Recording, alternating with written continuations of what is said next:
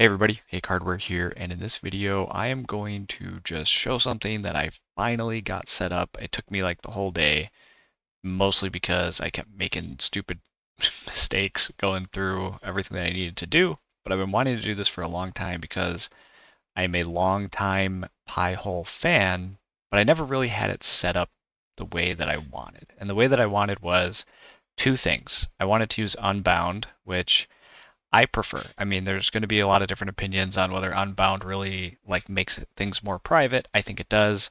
I think it's useful, and I prefer to use Unbound. So I got that working. And then I also created a DNS hijacking rule or policy on my Unifi Dream Router 7, which I never could figure out how to do either because I'm absolutely terrible at networking stuff. Uh, but I just want to showcase it, and then I will have some additional guides and information on how to get this set up in the future. I'm working on a really cool website, but it's not ready yet. I need to document more things and get it ready before I release it. But instructions on things like how to set this up will be on there. So subscribe, like, and uh, you'll get notified when I finally release that stuff. Uh, but let's just get into the demo here. So this is Pi-hole. I have it set up on 10, 0, 50, 200. And first thing I'll show is if we go down here into settings and I go into DNS, the only DNS is this 127.0.0.1, and that's on port 5335, and that's unbound. And this is all running on a Proxmox LXC with both uh, Pi-hole and Unbound on the same LXC. Uh, so it works really well. And I have actually a dedicated VLAN just for Pi-hole because it just makes this so much more seamless. And Pi-hole is kind of an exception to how I set things up. I mean, it, it definitely, I think, um, makes sense to set this up on a separate VLAN. Uh, but I'll get more into that, I think, in like the actual guide. But anyways, this just shows that I have Unbound set up and then we'll just go to the query log here and I've been messing around with it a little bit. And on the right side here, I have Sirius. Now this is actually the Proxmox host that is hosting the LXC. And this is actually on VLAN 10 and the uh, Pi-hole LXC is on VLAN 50. And again, there's a reason why I put it on a separate VLAN. It makes the policy a lot easier to write.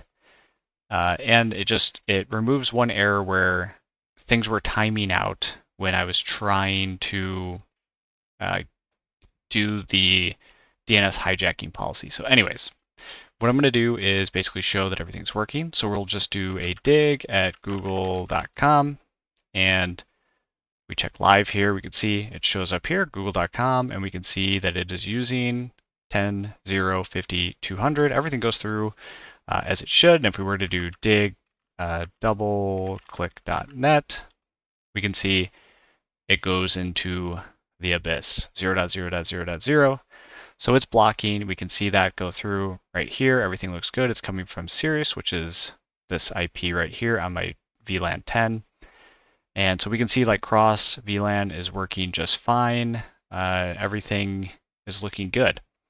Now what's really cool, well, first let me show you, let me prove to you that it's going through unbound. So if we do this is on my Pi-hole, LXC. If we do systemctl status unbound, we can see it's running. But let's do systemctl stop unbound. Now it's no longer running. So theoretically, nothing should go through. So if we go up here and we do dig back, okay, so uh, we need to technically do a new website. So we'll do dig, uh, what's a new, uh, bbc.com and we dig that and nothing comes back. The reason why it worked the first time is because Google obviously is in the cache. It's going to be able to figure it out. We can even see these requests coming through, but they're getting forwarded to that upstream DNS and it's not there. So we'll just control C. Uh, that failed anyways. And let's do system CTL start unbound. And we'll give it just a kind of a second here. And now we'll do dig and we see it works perfectly fine because we actually um, have our upstream DNS server working, which is exactly what we want.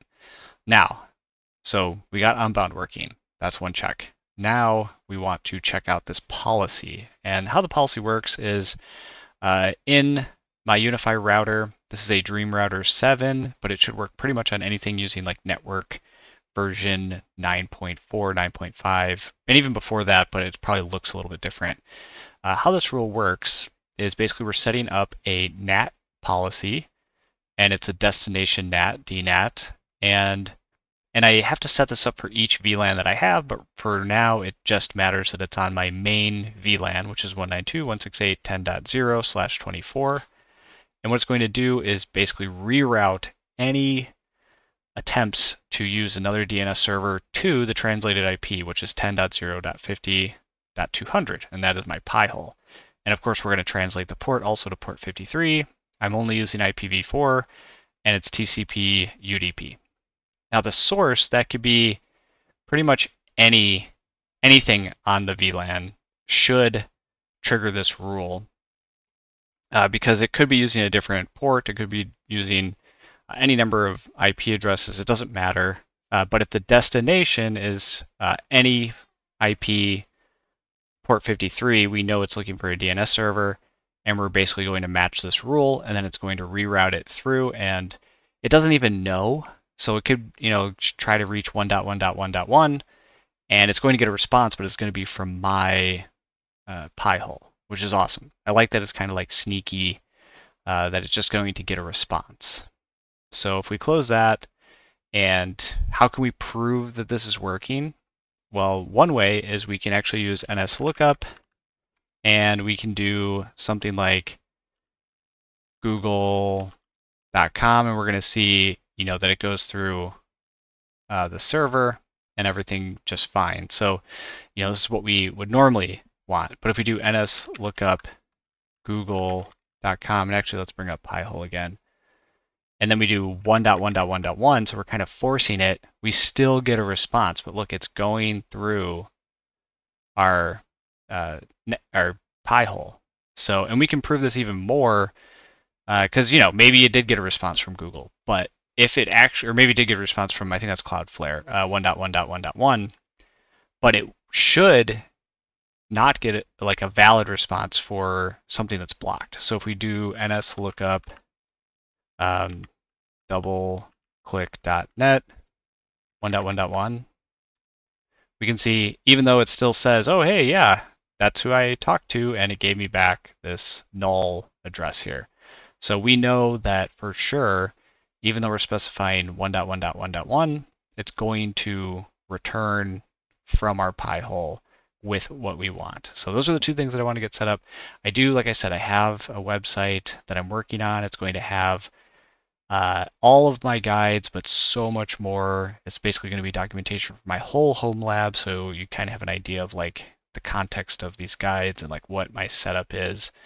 Uh, but I want to get it kind of all done, or at least the documentation part of my home lab done before I post it. So unfortunately, there's no guide for this right now, but there's going to be a guide for Unbound and a guide for uh, Pi-hole in the context of an LXC running on Proxmox.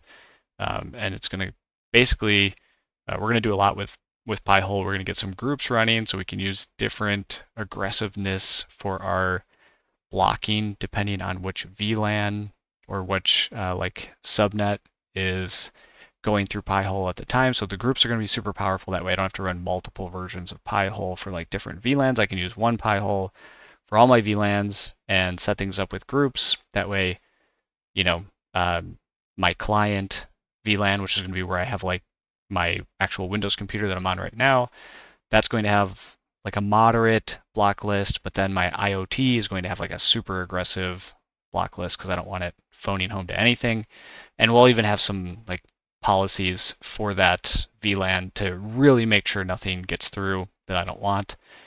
Uh, so that's going to be pretty cool. We're going to cover that. And again, so much more, but I have been trying to get stuff like this to work for the longest time. Network things like NAT and stuff, I spent the whole day researching and trying to understand it. So I'm not just like copy pasting or blindly clicking things. Like I actually understand what's going on now, which is pretty cool. Uh, so hopefully, you know, this is cool and exciting to other people. I'm definitely going to share more about this, uh, but I want to create more uh, helpful guides like this in addition to like all the other things I'm doing with AI and general Proxmox guides. So stay tuned, subscribe, and I'll see you in the next one.